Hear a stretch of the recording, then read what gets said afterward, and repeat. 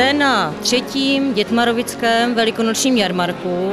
Eh, Organizuje to klub eh, občanů Koukolna ve spolupráci s obecním úřadem, ale hlavním organizátorem jsou zase naši velmi šikovní a ochotní místní zahrádkáři.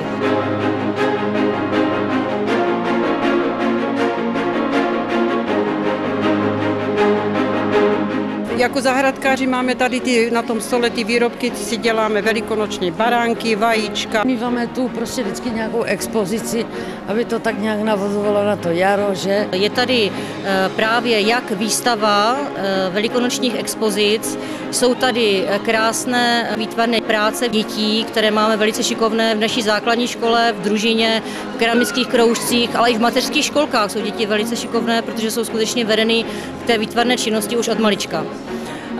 Na to je navázaná prodejní část, která samozřejmě ke každému jarmarku patří určitě. A všechno to jsou místní, buď přímo naši občané, anebo z úplně nejbližšího okolí. Prodáváme medové perníčky, které jsme dělali doma s láskou eh, a vlastně pekli jsme to před asi, asi pěti dnama a dneska ráno jsme to balili, aby byly hezky připravené tady na prodej. Tohle jsou vajíčka, která jsou vyrobené z polystyrenu. Eh, Je na tom ubrousková technika nebo obrázek z, růžo, eh, z rýžového papíru, ručně domalované a celkově to je přilakované lodním lakem. A já tomu říkám věčné vajíčka, protože se nerozbijou a můžou se umýt i pod vodou.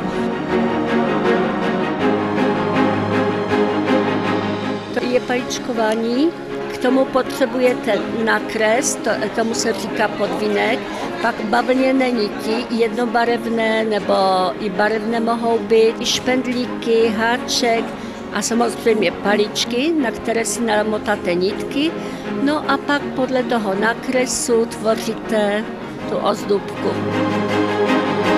Buď malujete voskem, anebo malujete tuší barvama, záleží jako na každém. Pokud to natřete celé tuší, tak to začnete škrábat. Něco děláme pro děti, aby to bylo také veselější, tak jak letos jsme udělali pár krtků, myšek, potom ptačky tam máme, husy, kachny, slepičky.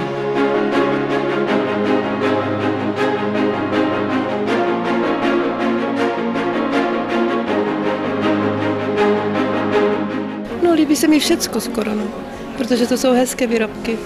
Každý se snaží udělat to nejlepší, co umí. Velikonoční kraslice, které jsou v provedení od papíru přes polystyren až po skutečné kraslice z vajíček. Pak se mi tady líbí velikonoční beránci, upečení samozřejmě z těsta. Vajíčko jsem si koupila, teď se dívám na ty krásy.